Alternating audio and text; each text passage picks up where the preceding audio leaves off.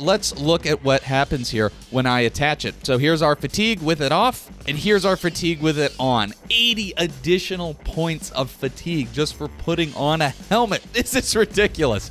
Ladies and gentlemen, our quest for today's artifact begins in the hive of scum, treachery, and villainy itself. Dagon Fel in the Sheogorad region. Ah, yes, the gate to Sheogorath. The 20 people that live here and all of their interesting items and quests that don't exist because the only thing that Dagon Fel is good for is getting access to all of the islands around it. Uh, because the only things really out here are dungeons, Daedric shrines, Slaughterfish, and Cliff Racers. So if you're into that kind of stuff, which if you're playing Morrowind, I assume you are. Well, then Daggerfell's your town, man, because there's nothing else even near it to get up to Sheogorath.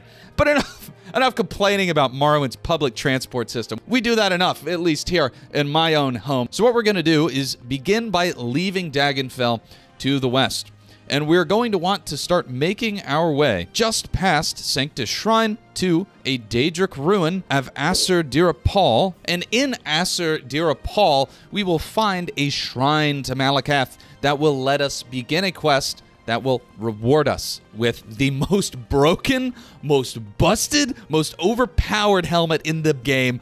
Pretty much uncontested when I say that for sure. Now, I know I've made a video about the best helmet not in the game before talking about the Helm of Tohan. But the thing about the Helm of Tohan is it simply is the most enchantable helmet in the game. So if you're an enchanter, you want to throw on a bunch of custom enchantments, hey, there is an argument that the Helm of Orin Bearclaw is worse than that. But if you are not an enchanter, you're just a character who wants to go grave rob, do a bunch of quests, pad your artifact sheets, get a high attribute level, well, then this cannot be ignored. And really, I don't see a character that doesn't want to use the helm of Orin Bearclaw. And holy crap, I'm being attacked by orcs. One second. What? Where did these guys come from? Uh, okay, hold on, hold on. God, we got uh, so much going on right here. Luckily, Chrysamere hits like a frickin' train. Get that out of here. Oh, okay, there we go. Jeez, right in the middle of my monologue. That's that's what always happens.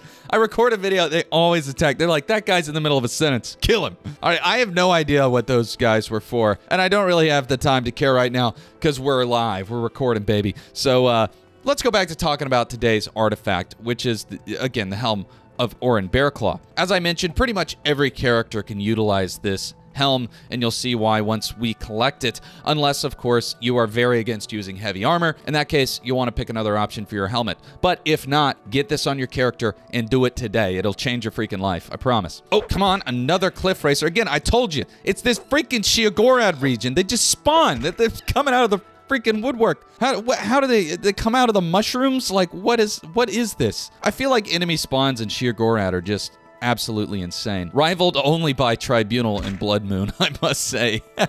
But anyways, as we finish our adventure over to Assurdirapal, uh, which we are almost there, seeing as we are coming up on Sanctus Shrine here, let me cue up a little bit of the lore behind the helm of Orin Bearclaw because it is quite an interesting little artifact, I must say. Now, the story begins right in the name, the helm of Orin Bearclaw, Orin Bearclaw being a famous Dunmerry hunter from Bosmer legends. So he was a Dunmer that lived in Valenwood and killed a witch serpent, which I can hardly imagine what that is. And the only thing tougher to imagine than what a witch serpent is, is the name of the witch serpent. I'm just going to throw it on the screen and go after it yourself. Let me know. Let me know if you can pull that one off. but Orin uh, himself became a bit of a Herculean figure to the Bosmeri people. After killing the witch serpent, freeing his clan of her influence and terror, he did a number of other heroic deeds and became etched into the annals of history. But you see, that right there, he etched himself into the annals of history is where it becomes a little contested. Because, you see, to the Orsimer people, this is not the helm of Orin Bearclaw.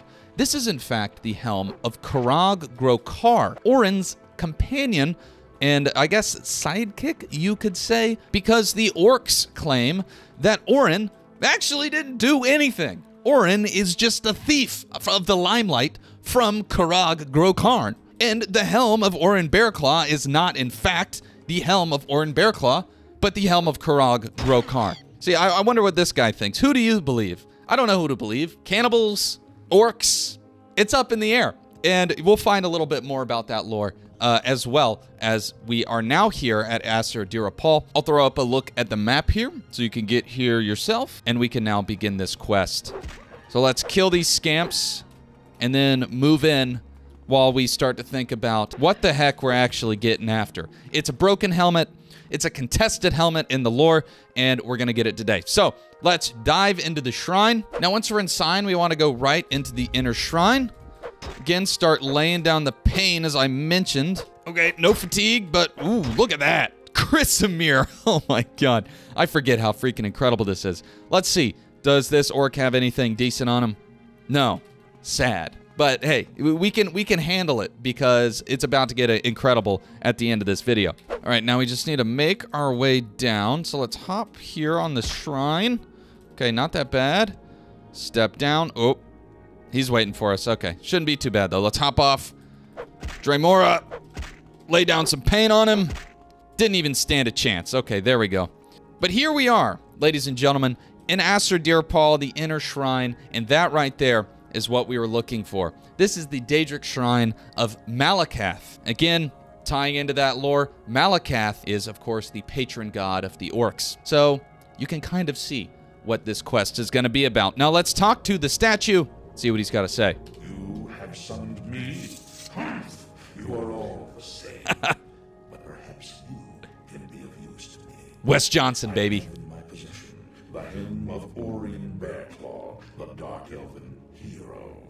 So we came for. Numerous, but he was a false hero.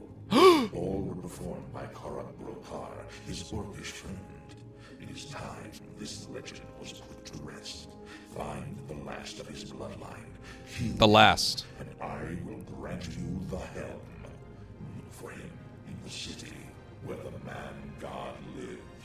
So there you have it, ladies and gentlemen. This is the quest of Malacath, the patron god to the Orsimer people. He has found what he believes to be the final descendant of Orin Bearclaw, and he wants to set the record straight and get Karag Karn that fame and fortune like we mentioned earlier in the video. Now, before we continue the quest, it is absolutely crucial that you mark this location because you will have to come back here. And as you saw, the run over from Dagon Fel, not too fun. So there we go. We just set our mark. Let's grab our Almsivi intervention now and head on and start this quest. So now we've arrived in Gnisis. And what Malacath said is head to the whatever where the mad god lives. Just summarizing there. but uh, we know that this is the town of Gnaar Mok. If you were, of course, playing this through naturally, you weren't just trying to find the artifact, you would have to ask around, discover this path for yourself. But if you're watching a video on how to get the helm, let's cut to the chase here, people. So let's go ahead from Gnisis. Let's travel to Seyda From Seyda Neen. let's travel to Vivec. And then from Vivec, we want to head over to the boat down yonder there by the water. He lives in a boat by the river. Horrible SNL reference, but we'll speak to Anno and Darum, and we'll complete our penultimate travel by heading to Hala Ode or Hala Awad. Uh, I always say Awad, got a little more flavor in it, right? A little more spice. Life's about having fun. I like having a good time. Hala Awad. It's just got a nice ring to it to me. But once we're in Hala Awad or Ode, whichever you prefer, let's travel our final time to the city where the mad god lives, Gnaar Mok. I don't know why Malacath says that. I feel like the city where the mad god lives would be like Las Vegas or something. But anyways, once we're in Gnaar Mok, we basically just want to head a little bit south of the city, and you will see some corpses of some bull netches off in the distance, and that actually is where Farvyn Oren, the last of the bloodline, lives. So we'll find him here, and there he has two bodyguards with him. And now I will say, if you're trying this... Oh, bastard. Hold on. Now, I will say, if you are trying this at a lower level, Farvyn isn't the issue. The issue are the bodyguards. They actually slap pretty hard, so just keep that in mind. But let's talk to Farvyn first, because th there's more of a story here than you would expect. So Farvyn, talk about Orin Bearclaw. We gotta know. Who who had the helm? Orin Bearclaw, my most wonderful ancestor, father of my father's father. He began the Orin tradition of helping the helpless. Well, okay, that sounds great, but what about Karag? Karag? Who? Oh, the orc? I'm sure I don't know. All right, stranger, it's all true. Do you think it's easy carrying on this kind of family name? Everyone expects a lot, you know? Of course, it doesn't have the benefits, the adoration of everyone, the imperial stipend. Why have you sought me out then? And so I say that I come on the behest of Malacath to end this lie. Again, Farvyn is backing up that this is in fact a lie, which is pretty integral. So let's uh, let's click this, and he says, "Well, if that is how it must be, kill this fool." And I say to that, I would love to see you try. So let's keep moving here. Make sure we're just dodging spells. Ooh. Oh, Farvyn hits pretty hard with that spell. Okay, let's get in close. Take him out. And then let's deal with the final bodyguard. There you have it. that is not that is that where's the warrior blood, Farvyn? I expected more of a challenge. I'm level 11. Come on, buddy. You got you got to do a little bit better than that. Let's at least see. Does he have anything exciting on him? The blood despair amulet, third barrier amulet, flame axe. Nope, nothing even good. But what is important here is that we got your journal is updated. And let's read that journal real quick because the referee he's got some things to say about Farvyn. I've killed Farvyn Orin he was, as I expected, remarkably weak for one of such a distinguished bloodline. His guards were, however, as strong as they looked. So, hey, maybe there's a little bit to this lie. Maybe, maybe it is Karag's helmet. I guess we don't really know. But let's see what Malacath has to say about all this and return to Assurdirapal and collect the helm itself. Here we are. All right, Malacath, I have done your dirty work. Bestow upon me the helm of game-breaking attributes. You have killed the false hero and ensured them False hero.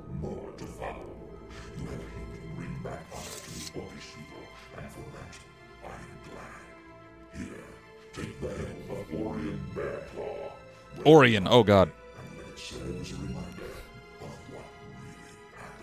Well, apparently I've been saying it wrong the whole video. But I stand by that, just like Hla Ode and Hla Wad and Call Cool. Tomato, tomato. Come on. But before we look at the stats, let's close up the lore end. And you see, Malacath right there said you ended the line of Orion Bearclaw and restored honor to the Orcish people. Well, Malacath must not have known that Oblivion was in development because the second in command of the Cyrodiilic Fighters Guild is actually a descendant also of Orion Bearclaw. And in fact, you can get the helm of Orion Bearclaw in Oblivion as well once you are the master of the Fighters Guild and tying back into the conflicting stories between the two people. Although the descendant of Orion in Morrowind agrees with Malacath that the orc did everything, the descendant in Oblivion stands by his ancestors' legacy and says, no, that's wrong. This is the helm of Orion Bearclaw. So, just another example of the lore that is self conflicting in the Elder Scrolls that we are also very familiar with. But that being said, enough with the lore class here. Let's look at this item. So here we have it the Helm of Orion Bearclaw, armor rating 204, value 125,000 gold, with a constant effect enchantment, fortify attribute agility 40 points, fortify attribute endurance 40 points. Constant effect, people. This this blows the doors off every attribute bonus given by any birth signs or even any other items. 40 points constant effect is absolutely absurd. This is an incredible artifact for any warrior that wants to be worth his salt. You're going to become very tanky and have a really high fatigue pool. In fact, let's look at what happens here when I attach it. So here's our fatigue with it off. And here's our fatigue with it on. 80 additional points of fatigue just for putting on a helmet. This is ridiculous. Orion Bearclaw's helmet, regardless of which side of the lore you stand on, is a cannot miss item. Surprisingly, is often missed because it's hidden out in the depths of the Sheogorad region at the bottom of Assurdirapal, and you have to speak to a statue to get the quest, which is not super intuitive. In and of itself. So, with that said, that's all I got for you today, folks. Thank you so much for tuning in. The support on the channel recently has been phenomenal. I am absolutely blown away. But that's going to do it for me here today. And as always, I will catch you on the next one. I just killed that script.